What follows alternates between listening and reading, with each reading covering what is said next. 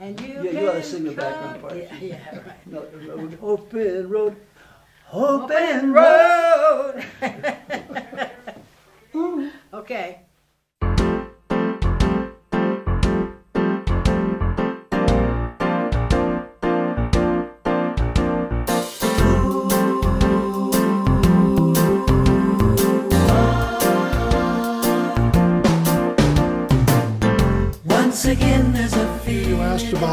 Met each other, and we grew up in Santa Monica, and we went to school together.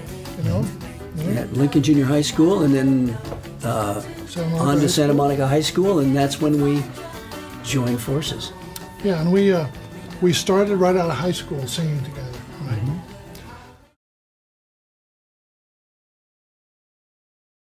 We do. Um, Murray's mother was a very famous actress and did a lot of commercials. Her name was Joanne Jordan, her stage name. And uh, she knew Milton Rackmil, who was the president of Universal, Universal Pictures. Universal Pictures. So take it from there, Murray.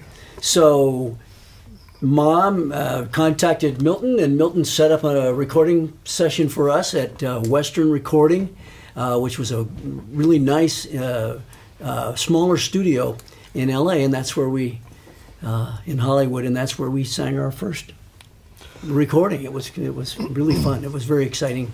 And what I remember about that was we had never been in a studio, Yeah. right?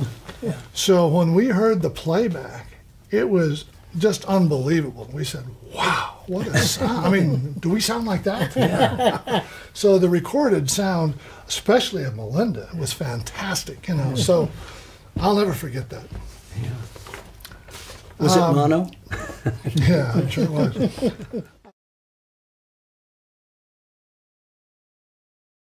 Uh, we were very lucky to work with the producer Tommy LiPuma. First of all, he was a, just a really nice guy, but he he had a real ear for songs, and he picked most of the songs on our album. He he suggested those songs to us, including the Beatles songs. Okay, um, what do you guys remember here? I remember that too. Yeah, I just remember he, he was he was great to work with, and and that's all I remember about. He liked our sound very yeah, much. yeah. Tommy was he was just a terrific guy, great producer. And we were lucky to have a uh, Bruce Botnick as the engineer. He was a terrific engineer. Yeah. And uh, the arrangers we thought were great. Bob Thompson, uh, um, Marty Paich, Oh, Marty Paich. and yeah. uh, Yeah. Nick DeCaro. Nick DeCaro. Nick DeCaro was, was real special. He was a good. He was a very good friend of Tommy, Tommy LiPuma. But he was just a really great arranger. Yes. Um,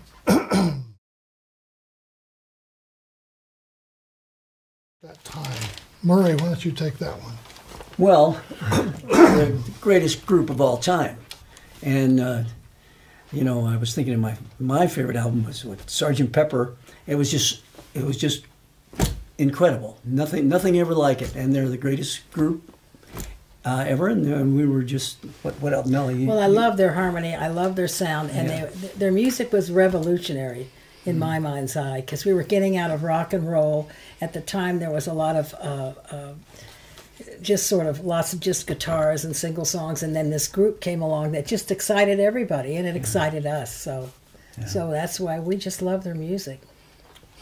Yeah, and uh, and with Tommy, we we chose with a little help of my friends and I'll be back. I'll be back. We we all liked those two songs, and we definitely wanted to cover a couple of Beatles songs. So that's how that worked.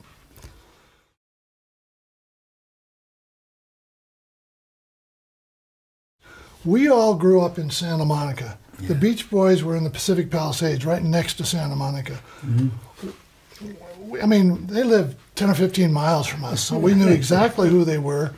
We were big fans of theirs. Um, let Murray talk about that a little bit. He's very good at this history. God only knows I loved the Beach Boys and still do. and anything anything Brian Wilson does, I'm interested in. I want to hear it. I want to. I And that was to a. Tony Asher lyric, too. Yeah, Tony Asher, and uh, uh, Good Vibrations. Uh, absolutely. I, the first time I heard that, I was driving on the freeway and had to pull over. I was just absolutely amazed by this recording. Wonderful. I like Bob, Bob, Bob. Oh, she Bob, like Bob Barbara Ann. Ann. That was my. Oh yeah.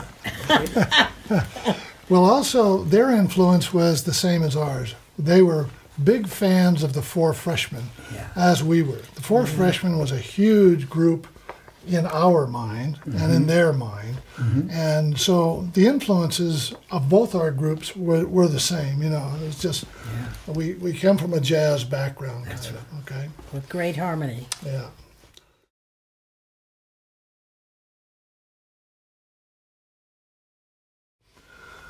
Um, well, we kind of talked this over, and all we can say is these were the songs we were doing at our time, and the fact that they've kind of lived on, you know, is is a wonderful Yeah. thought to us. Yeah. But you know, you don't you don't know that at the time, but we're we're uh, very flattered that you like these songs because it's it means a lot to us. Yes, it certainly does.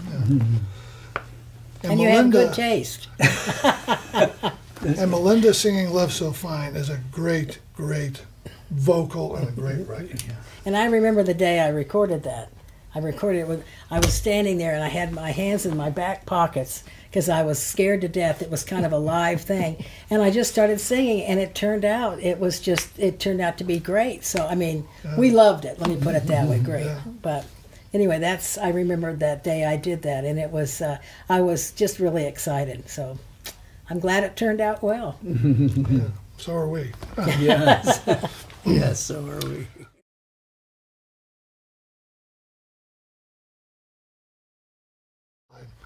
I can answer that. I love the first album. Yeah. Oh Yeah. yeah. It was quite. It was. It was very unusual. All the different kinds of songs we had on there. So Yeah, we were pretty excited. We did in one night. We did. We, we got going on the album. One night we actually did five tunes in a like a three hour date. Five vocals. Yeah, All the vocals, e- everything, background vocals, everything. It was. Uh, yeah we, we was rehearsed a lot at that time. yeah, we did. Yeah. Yeah. And uh, a lot. anyway, about that album, I think we all really liked the arranging on the album. You know, the, mm-hmm. the orchestration Yeah, and the stuff. orchestrations. Mm-hmm. Yeah, it was fun. And again, at that time, one more comment. This is all live musicians, recorded live, you know, mm-hmm. all that stuff. It's, it's it was just wonderful to to be at the session when they were recording the strings or the horns or stuff like that. You know, it was very, very uh, moving. You know.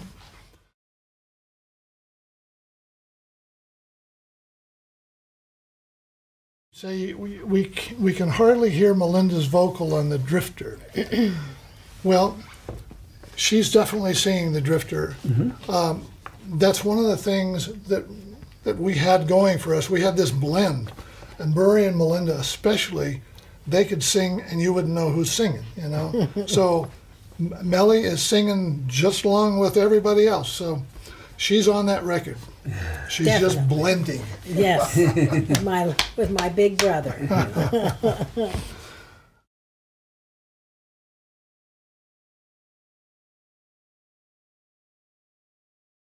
And I guess our answer there is just when we released our album, A&M Records signed the Carpenters. and that kind of left us uh, kind of not knowing what to do. And, and A&M did not pick up our option, so that was that was fine though. Carpenters were a great group Yeah. and we loved them, you know. Um,